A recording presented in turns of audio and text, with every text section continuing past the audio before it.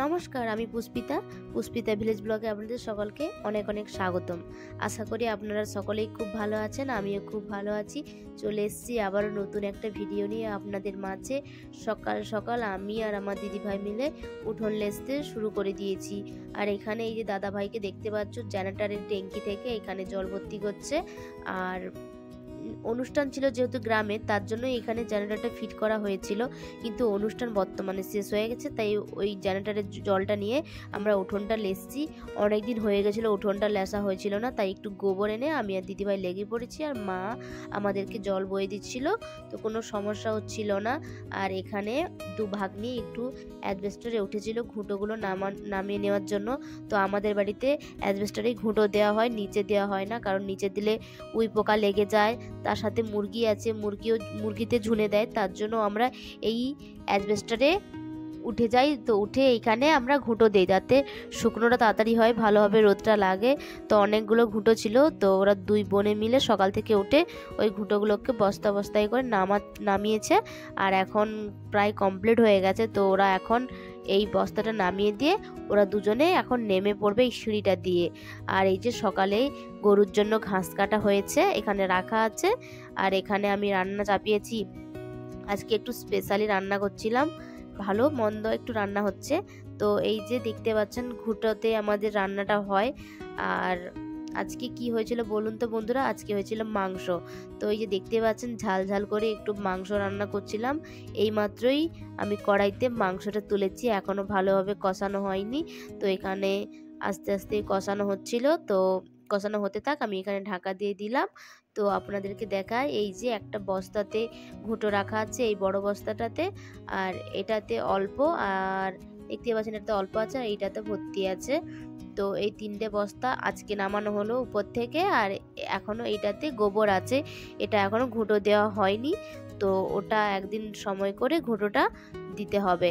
আর আমি যেহেতু রান্না চাপিয়েছি এখানে, তো আমাকে মাঝে মাঝে এসে দেখতে হচ্ছিল যাতে মাংসটা কড়াইতে না লেগে যায়। যেহেতু কষাচ্ছিলাম, তার জন্য লেগে যাওয়ার চান্সটা বেশি থাকে। তাই আমি হালকা হালকা করে লেড়ে দিয়ে তারপর আমি জল দিয়ে দিলাম। তো এখন আমি জলটা অ্যাড করে দিচ্ছি।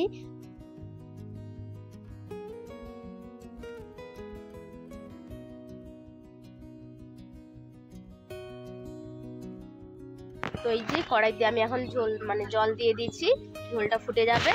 আর আমাদের বাড়িতে যেহেতু সকালে রান্নাটা হয়ে যায়, তার জন্য আমি সকাল সকাল রান্না চাপিয়ে দিয়েছি। দেখতেই পাচ্ছেন বন্ধুরা আমি কি করেছে, দেখুন, জল ঢেলে দিয়েছে। তো আমার এখানে রান্না বান্না কমপ্লিট হয়ে গেছে। তো আমাদের বাড়িতে যেহেতু অনেকে, তাই দিদিভাই এখানে সবার জন্য তরকারি বাড়ছে আর আমি এই পাশে ভাত বাড়ছি। কারণ আমরা এখন সকলে খেতে বসে পড়ব, তার জন্য। আর তোমাদের দাদাভাই একটু বাজারে গেছিল আর বাজার থেকে এই আম সত্তরটা নিয়ে এসছে। তো বলল সবাইকে এটা কেটে কেটে দিতে।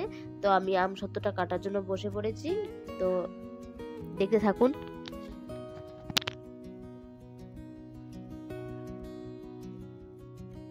তো আমাদের খাওয়া দাওয়া হয়ে যাওয়ার পরে দাদা একটু ভাগ্নিদেরকে নিয়ে আমাদের এই বাড়ির পুকুরটাতে মাছ ধরতে নেমেছে।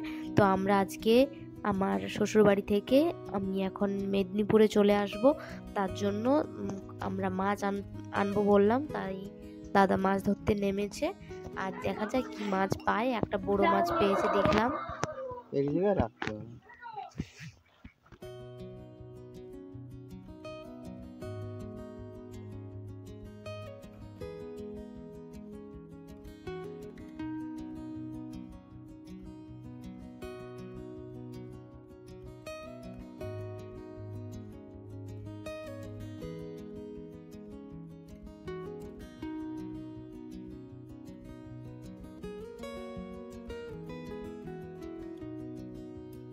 তো আমরা ট্রেন থেকে নামার পরে স্টেশন থেকে হেঁটে হেঁটে এখন টোটো স্ট্যান্ডের দিকে যাচ্ছিলাম। তো আমি যাওয়ার পথে এই ফুচকা স্টলটা দেখতে পাই। তো তারপরে এখানে দাঁড়িয়ে আমি কয়েকটা পাপড়ি চাট নিয়ে নিয়েছি।